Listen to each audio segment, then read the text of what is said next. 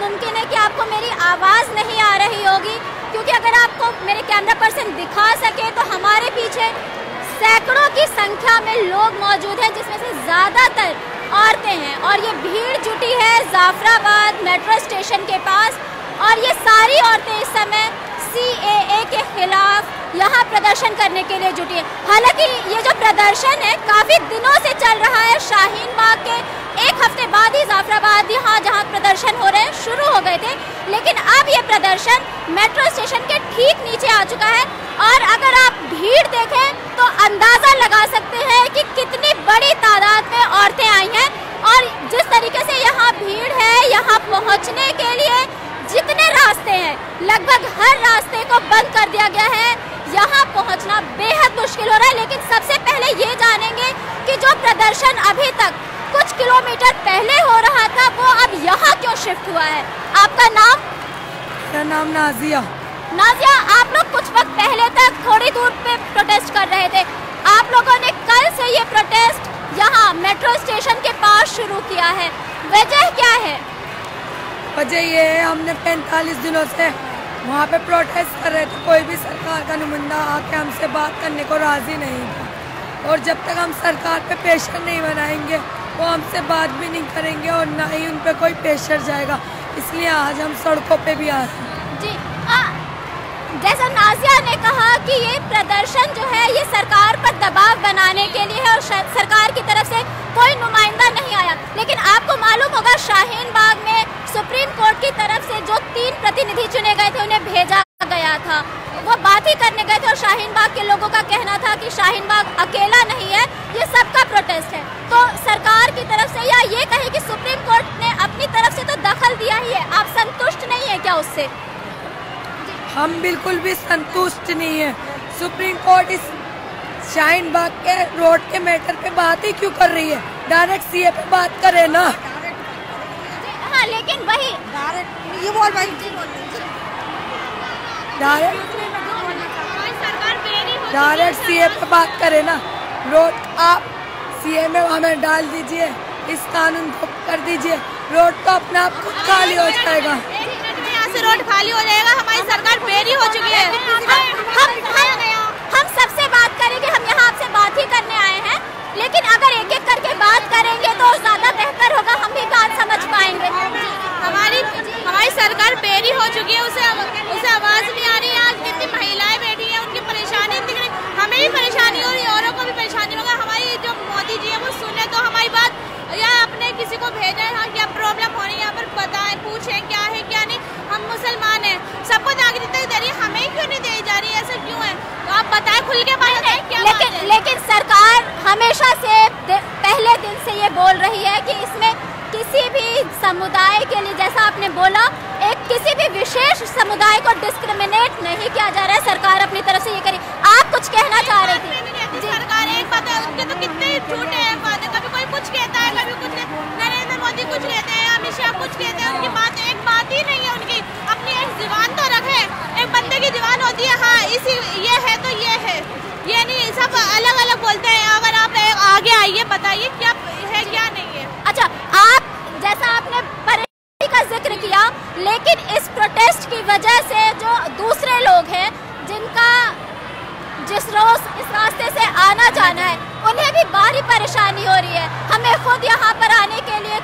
जद्दोजहद करनी पड़ी है। क्या उनकी परेशानियों के लिए ही तो शाहीन भाग भी सुप्रीम कोर्ट के तीन नुमाइंदे गए थे? ये इस तरीके की भीड़ कब तक यहाँ रहेगी? हम खुद ये प्रोटेस्ट मतलब रोकना चाहते हैं पर सरकार को भी तो हमारे बारे में सोचना चाहिए। एक तरफ़ सरकार कहती है बेटी बचाओ बेटी पढ़ाओ।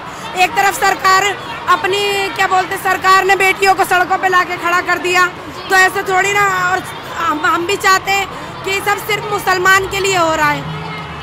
सरकार का शुरू से जो है ये धर्म के आधार पे सरकार तो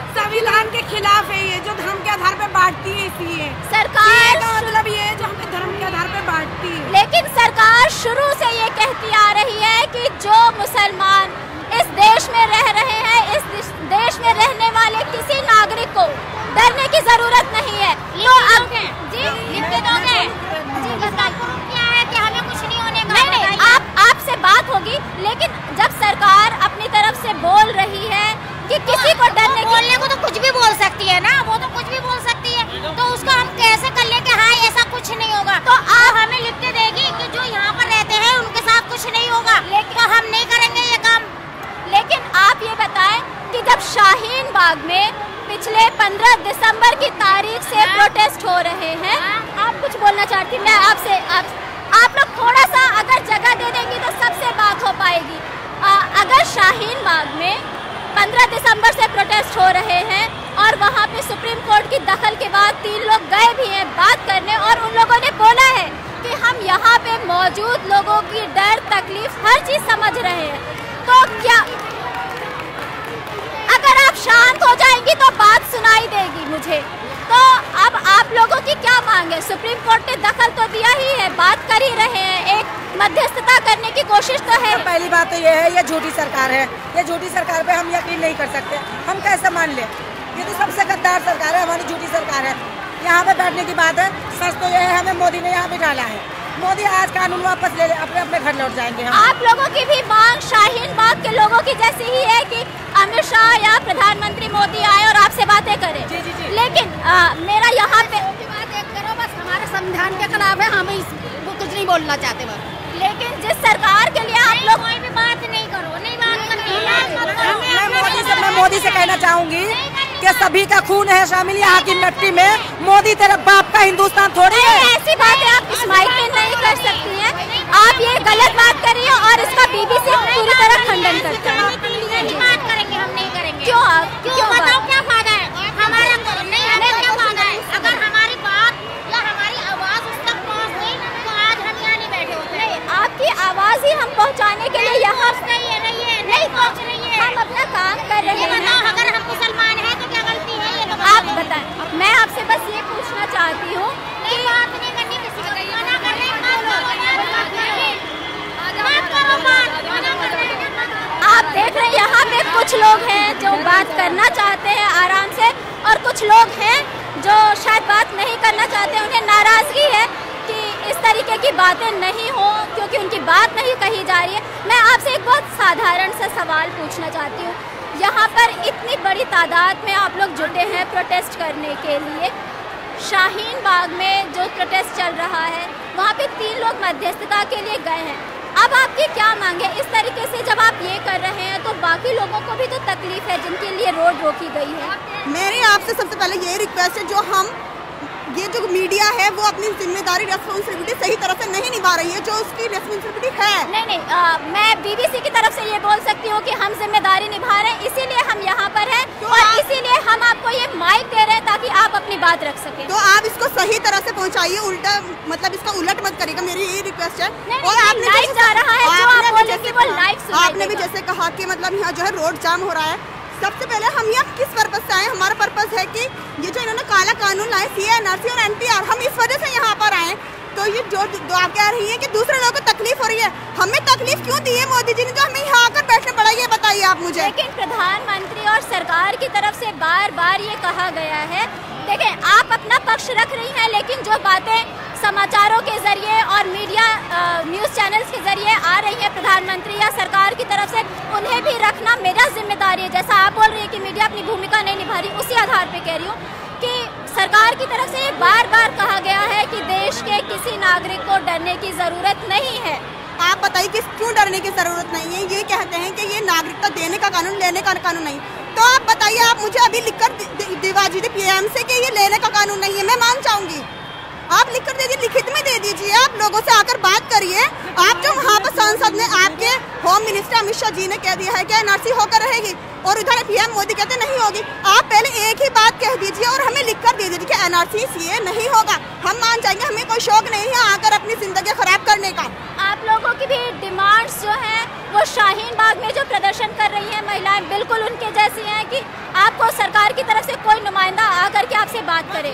हाँ हमारी यही रिक्वेस्ट है कि आप हमसे आकर बात करें अरे आप हमें समझाएँ। अगर हम आप कह रहे हैं कि हमारी समझ में नहीं आप हमें आके बात करिए। हमें जो है चैन सुकून दीजिए। हमें हम क्यों आएँगे? हमें शौक नहीं है अपने काम छोड़कर यहाँ आने का। अच्छा एक सवाल आपसे पूछना चाहूँगी। यहाँ ये प्रोटेस्ट कल से शुरू हुआ है। मेट्रो स्टेशन के पास कुछ वक्त पहले तक आप लोग आगे प्रोटेस्ट कर रहे थे। ये प्रोटेस्ट जिस तरीके से शाहीन बाग का प्रोटेस्ट था, अनिश्चितकालीन चल रहा है वहाँ पे।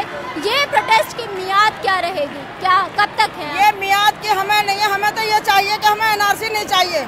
हमें लिख के दे दो, एनपीआर ये वापस ले लो हम बिल्कुल हम काला कानून काला कानून वापस ले लो हमें बस यही दुख है और हम इसी से चाहते हैं कि हमें काला कानून नहीं चाहिए इसे वापस ले लो बस जी जी आप क्या बोल रही थी यही है बस कि ढाई महीने हो गए पूरी सर्दियाँ गुजर गई सबको मालूम है। जिसमें हमारी नानी दादियाँ भी हैं वो भी बैठी हुई हैं जवान बच्चे बैठे हैं तो मतलब कुछ ख्याल आना चाहिए महिलाओं का कि इस तरह से ये बैठी हैं आम के बात करने में। या ना से वापस में। बस एक आखिरी सवाल मैं आपसे पूछना चाहूँगी।